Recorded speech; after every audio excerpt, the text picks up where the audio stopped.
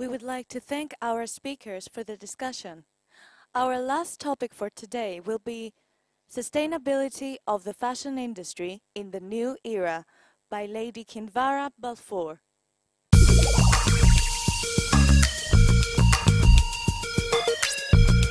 A look at future trends in fashion, lifestyle, and beyond from the Shout About It resale market and the mega brand fight for the needed now generation to AI, tech, micro living, and the arrival of the supermall. This is a look at the way the digital landscape is changing our world and our individual lives.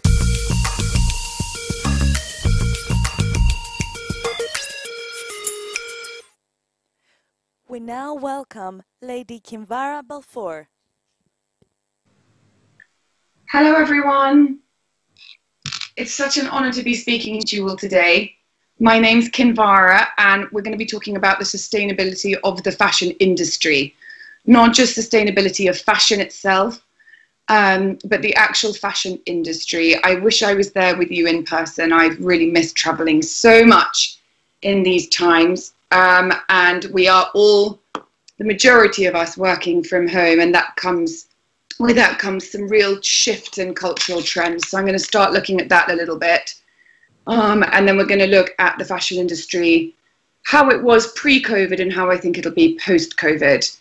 Um, and we will regard COVID as a big but small bump in the road um, in terms of the trends that are coming up. So I think I'll start sustainability in the fashion of the fashion industry uh, in the new era. So I, what I wanted to talk a little bit about first is the new urban landscape. Before we look at the actual fashion industry, I just wanted to show a little bit about how we're all living today.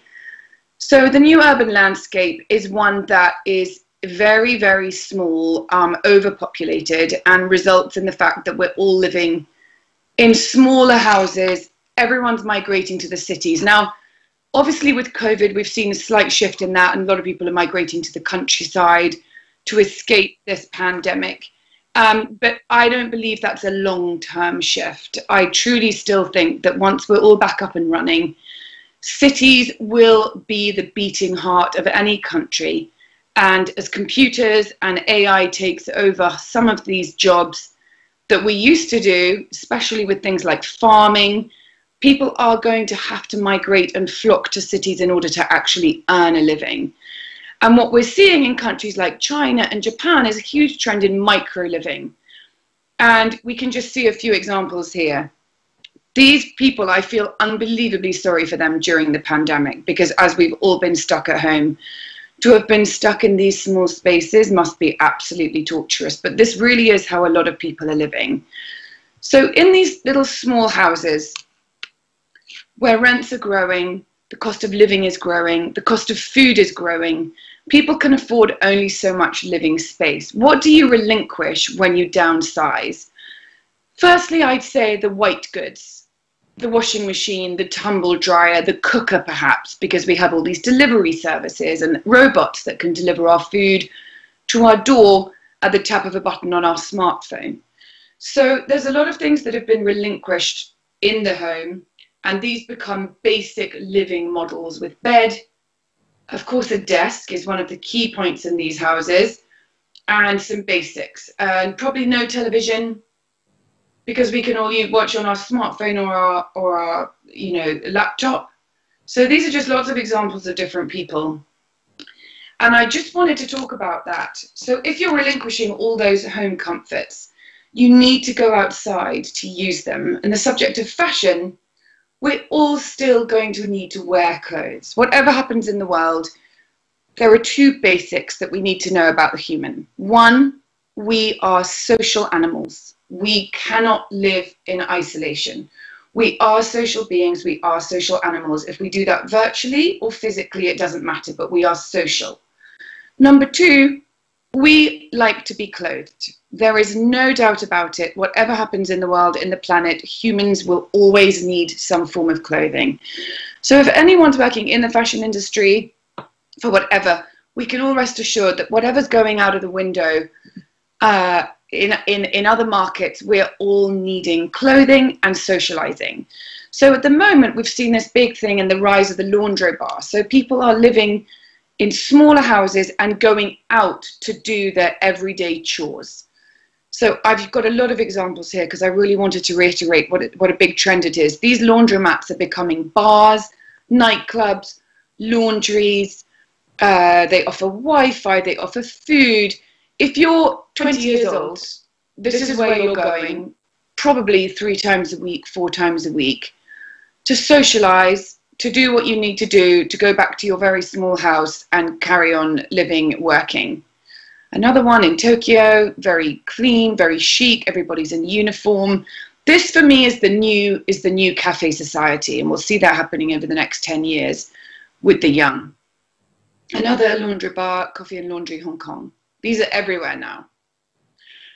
In addition to that, we see a real rise in the new co-working space. Now, obviously, these places have suffered during the pandemic, but I suspect they've only suffered short term there's many at the moment if we've all been stuck at home and i think we all agree if we have a partner working from home and we're trying to homeschool children in the same under the same small roof then someone's going to need to get out of the house to concentrate um, and these co-working spaces are going to have their moment in the next few years even if schools remained closed which they are here in america um, so WeWork, we all know about that, big and tiny. Another one in Los Angeles, which is a working space also with children.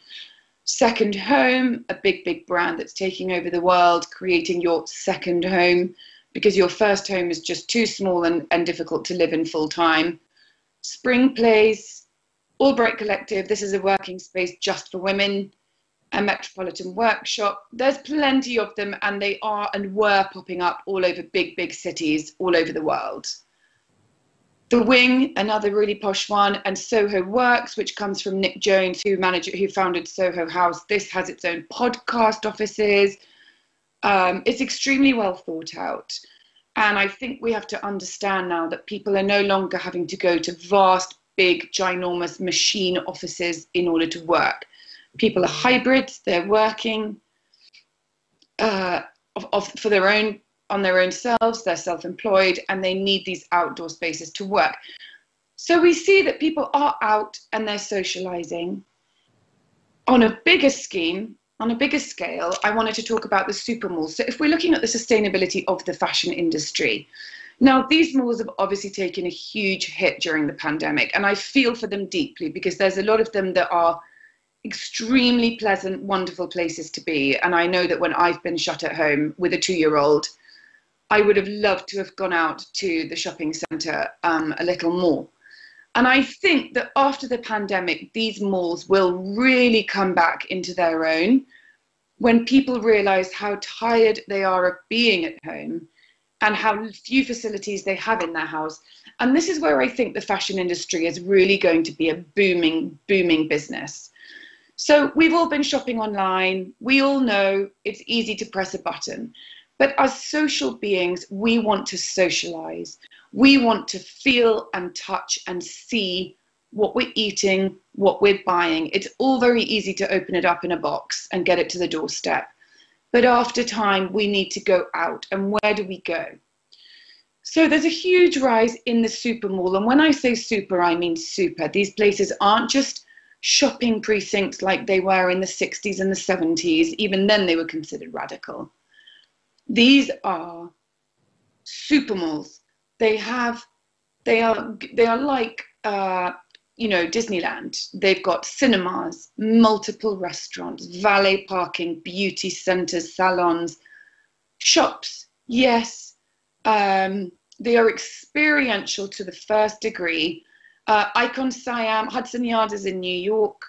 Uh, that beautiful building built by Thomas Heatherwick, a friend of mine, great British architect, which I know is suffering right now, and I feel deeply for them, but I'm sure it will come back bigger and stronger. Iran Mall is claimed to be the biggest shopping mall in the world.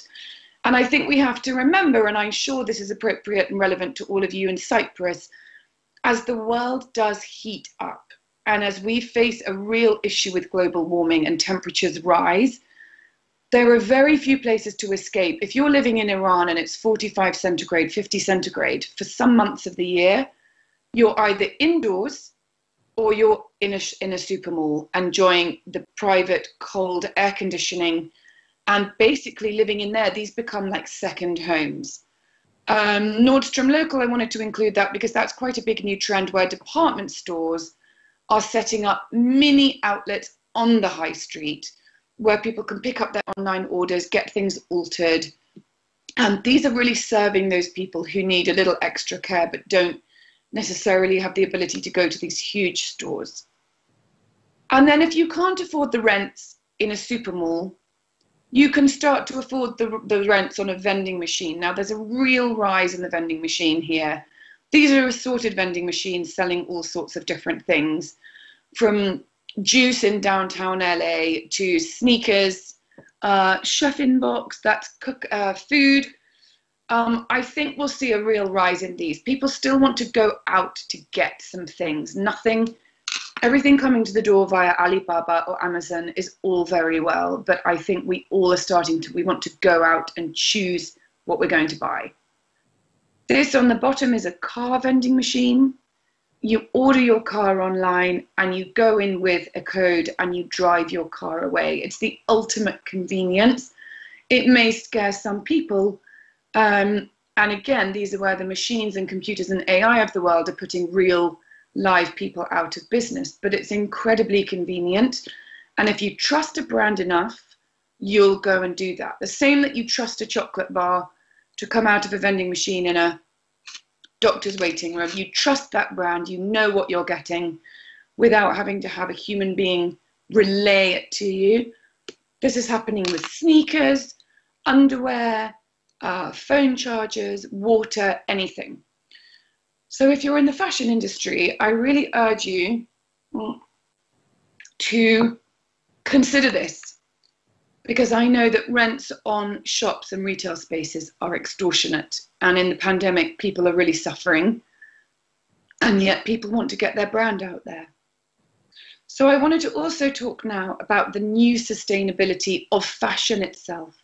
We all know that the overbuying, the overconsumption of everything, including fashion, is becoming a huge problem for the planet and therefore for us, for animals, for humans, for nature.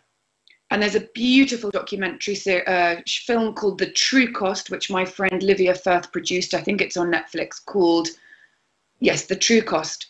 I really urge you to watch it because it really looks at how all this excess cheap fashion that we all buy and think, oh, I can give it to charity after five wears and therefore I'm not such a bad person. We now know that if a t shirt costs $4.99, someone's probably been paid about 50 cents to make it. We wear it a few times, it falls apart, it ends up in landfill. And when it's in landfill, it seeps into the ground and creates real issues for the people living in the place where the landfill is, such as Haiti, where children are getting really bad diseases such as vitiligo from all the chemicals in the water that are literally in the ground from all this, you know, dumped fashion.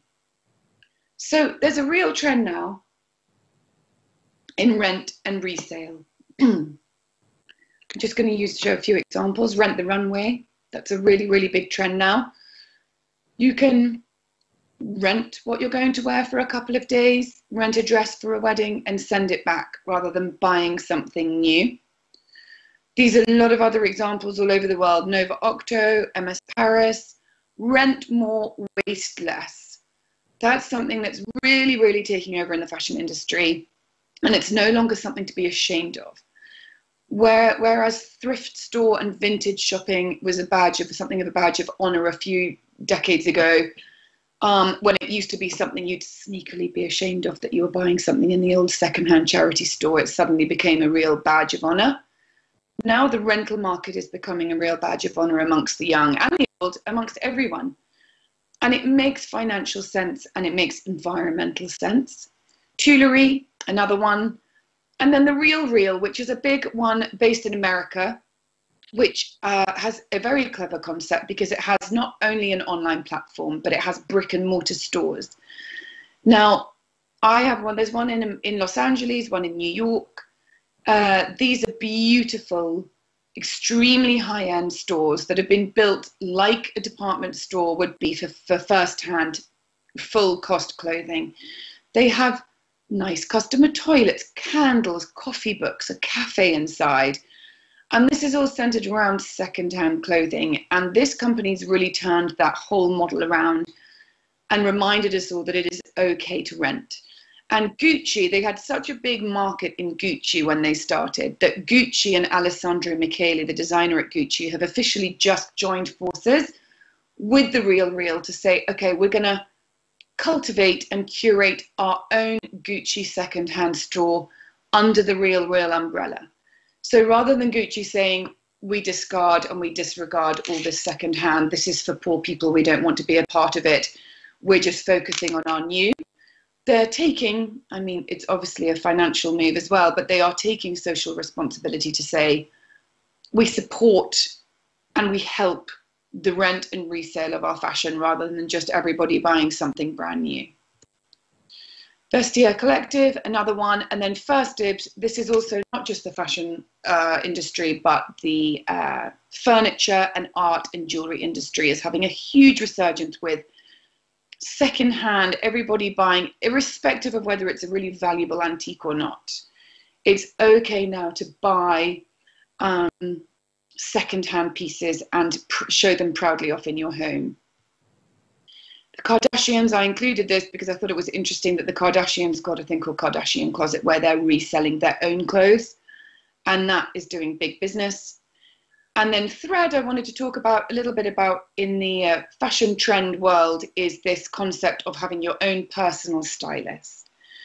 So with thread, you tell a stylist, an algorithm, in fact, and a stylist what you like to wear, what your needs are, what your lifestyle's like, and they send you a, ser- a series of clothes, a little few outfits to you back to your door. Um, that if you don't like, you return. If you like them, you keep them and you pay for them. Uh, I've never tried these services because I'm fortunate enough that I can normally go out, shop, choose. But for some people who are scared to go out or too busy, these services are becoming real godsends. There's quite a lot. There's another one in America called Stitch Fix that's doing really, really well. Um, and I think in the pandemic, these things are doing well. We have to remember, however, in the pandemic, that most people aren't dressing up like the Kardashians every day um, to socialize. I think we see all the athletic brands, the athleisure brands like Lululemon and Alo Yoga, Nike. They're all doing really well because we've all been at home in our track pants. Um, and on that note, I think it's really interesting uh, now, if I do go out to some of the malls that are open, you start to see which brands are really, really leading the way in society today because you see those are the ones with queues outside and other stores remain completely empty. And for me, where I live, I've been observing it quite a lot. Zara, queues outside all the time. Nike, queues outside, and Lululemon. And Gap, in fact, here in America. I think this is where you really start to see why are these brands winning? They were winning long before the pandemic. They're maybe managing pandemic customer uh, activity better than others, but in general, it's wear a mask and you know you can only have a limited number of people in a store at a time, which is a rule everyone has to adhere to. But the love of the brand has kept those people queuing outside, come rain or come shine, in their mask, to go and go back to that store that they love so much. And those really are the key brands that one should always just keep an eye on. What are they doing well? What, how are they doing it? I think in Zara's case, they just are brilliant at the online portal as much as they are with the brick and mortar. So there's equal numbers for both. So there's not an inconvenience to order online and feel that you need to go to a store to continue that purchase, to continue that customer experience. Um, and as we know, the founder, you know, he's he's one of the richest men in the world, and there are Zara stores all over the world, and I don't think they will suffer as much as other chains in the pandemic, from what I've seen. Now I just wanted to talk about the upcycle. So we've rented and we've resold. Now we look at the trend of upcycling, which again is nothing to be ashamed of anymore. This is a nice image I chose of Converse Renew. Converse are making their high tops out of recycled plastic bottles. Um, and I loved this tagline life's too short to waste. And I think we all have to be really, really, uh, we have to be really uh, aware now of the concept of waste, not only with our supermarket trash, the food we eat, the receptacles that all the takeaways come in during this pandemic, which gives me a heart attack. Um, but in our general, general, the waste of fashion. So this is just a couple of examples. Levi's have just set up secondhand, where they will, you take in your old Levi's jeans, you get a gift voucher in return. They then resell them on basically. They're not restitching them up. They're not doing anything. They're not making them into something else. They are just reselling those old secondhand Levi's um, and marketing them very well and saying they're lived in and worn and cool and comfortable. Um, and then COS resell, buy what you want from COS and resell it back when you're bored of it, and they will give you some vouchers in return. The new long term use is something, these shoes aren't the most fashionable, but this is something that I see something like Gucci or Prada or Chanel are going to adopt anytime soon in the next few seasons of their shows. So people are making, these originally made for children in Africa a charity called Because, where they saw that children needed shoes, um, but they obviously grow out of them so quickly. Uh, so they created a shoe that grows. And this shoe can change into five different sizes as the child, child's foot grows. Um, and I really, really do see some of the bigger brands adopting this concept. Expandals, another brand. Um, it's just it's it's they're not the most stylish, but it's an extremely clever concept that I think will take off in the in the high designer world and the high street world quite soon. And then I wanted to talk a little bit about social media for the next five ten minutes. We know that social media is absolutely a huge part of our zeitgeist out there in the big world. And within our small internal words worlds. And in the pandemic i think we've all realized how reliant we can be on social media. I'm not one to say that people are addicted. I don't think it's fair to say that the world is addicted to social media but certainly it's something that's entered our lives in the last 15 to 10 years that is absolutely infiltrated our psyche on a daily sometimes hourly sometimes minutely basis so, where are we with social media? I wanted to talk about just the four key ones Facebook, Twitter, Instagram, and TikTok. As we know, these companies are starting to get criticized for the sheer power that they have. Um, they all originated out of Silicon Valley. They had free reign for a long time, and now they're all starting to be questioned is how much power do they have and how much power do their founders have? And I think we have to be aware if we're looking at the sustainability of the fashion industry, in my view, the fashion industry is hugely reliant on these platforms.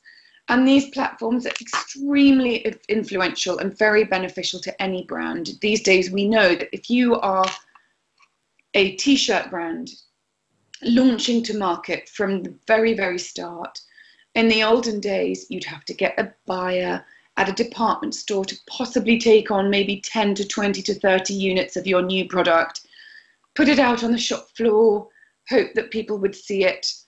There's much less footfall in the stores now. How do you get people to see your product?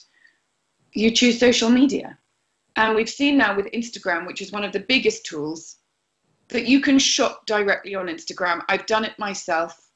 Um, there's plenty uh, of brands that are just launching from nowhere and becoming really big on Instagram, TikTok again. I just wanted to talk a little bit about Facebook. So we see this Facebook helps you connect and share with the people in your life.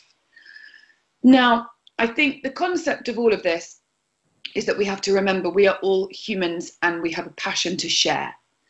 And this is where these social media platforms have really uh, have really won the game. And I think they can be used responsibly, but I think we're all starting to look at uh, the reality versus, uh, you know, Instagram versus reality. Um, these are tools to keep the fashion industry sustained. but they're also tools to keep a political landscape sustained, to keep some quite scary messaging sustained. And I think we have to start to learn these things, really use these things responsibly. There's two documentaries uh, which are out now. I urge everybody to watch. This has nothing to do with fashion and everything to do with our social and political behavior. One is The Great Hack, and one is The Social Dilemma. Both are on Netflix, and they do look at the evil, sinister, macabre, whatever you want to call it, powers at play, working and using these platforms. So, alongside some nice influencer in her Chanel, you might be getting an advert for Black Lives Matter protest, and you might think, oh, that's interesting. That's related to the nice influencer that I follow subconsciously. And what we realize is actually there's all completely separate and greater countries, greater powers, and disruptors are buying millions of dollars worth of adverts on these platforms and creating social unrest um, and dis-ease. And the social dilemma looks at that and says, look, you know, the world seems that it's quite crazy right now. How can that be? But on a, on a lighter note, I do think if you're a brand, a brand uh, new or old, if you are in any way shape or form communing with a consumer, whether you're selling cars, jewelry, champagne, whatever it might be, medical supplies, this is the easiest, cheapest, and best way to communicate directly with a customer. If you can't afford a shop or a presence on the street or a presence in the super mall, and I do think influencers really still have a huge part to play now. They are the advertisers of now.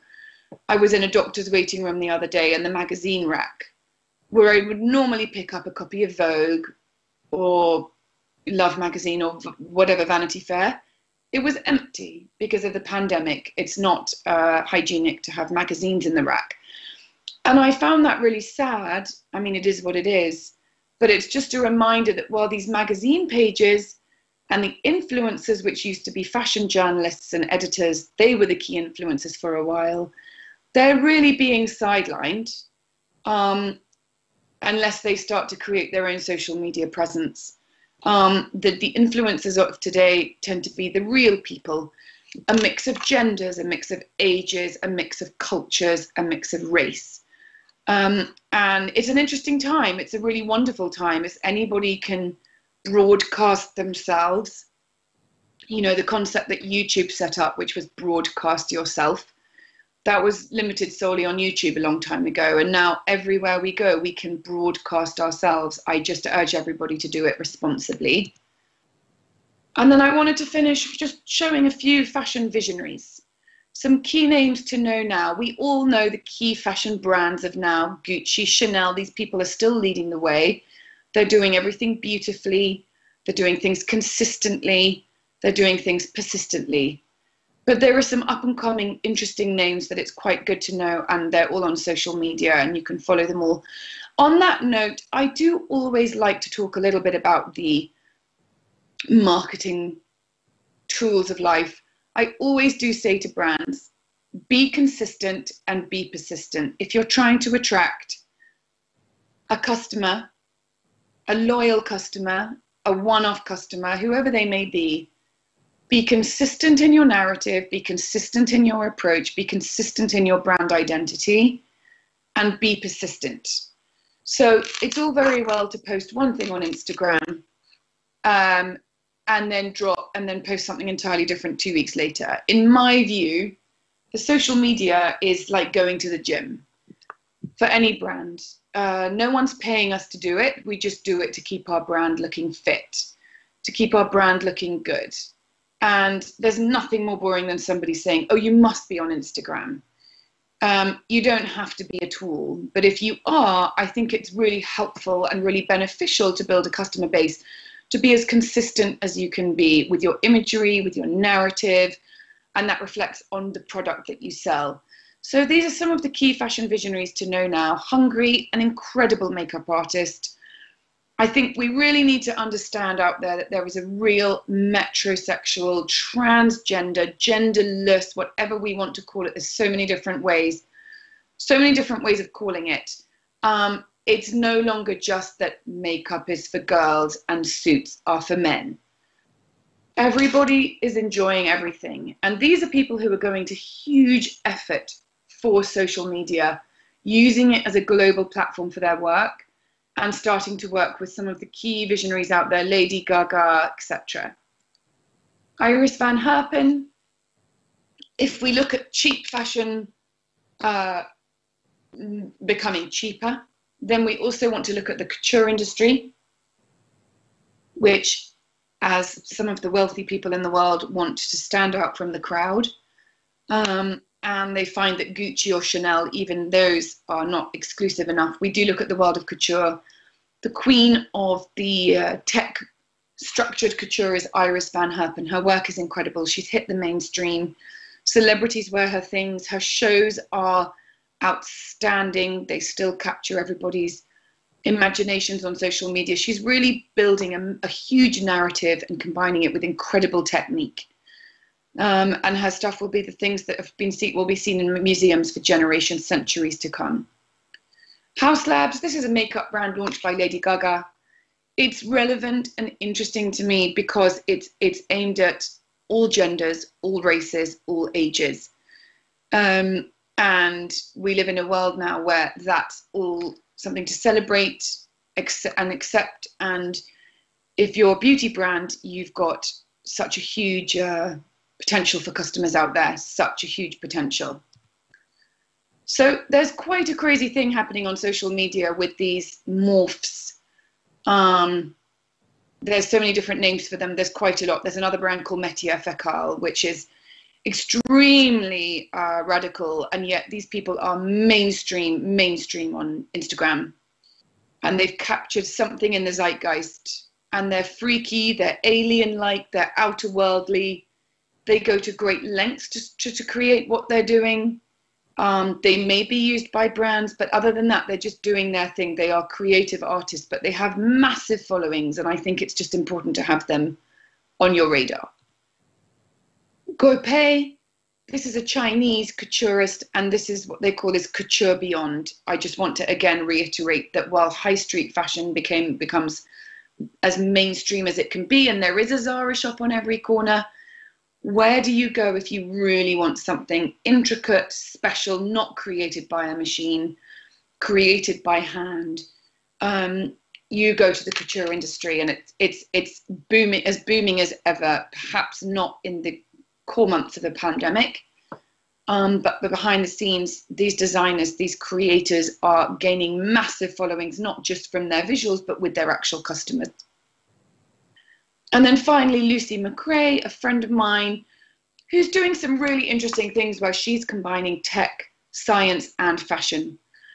And I think that that's a really big thing in the fashion landscape and the fashion industry and the new era is people who are looking at how tech can support and improve fashion, not only in the making of fabrics, but the way in which we wear it, where it's sold, how it's sold.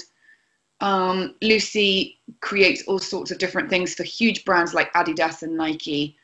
Um, and I think it's interesting to see that these brands are choosing to work with these boundary pushing, fearless, interesting new creators rather than just going to the same old fashioned designers for a collaboration for a pretty flower on a shoe.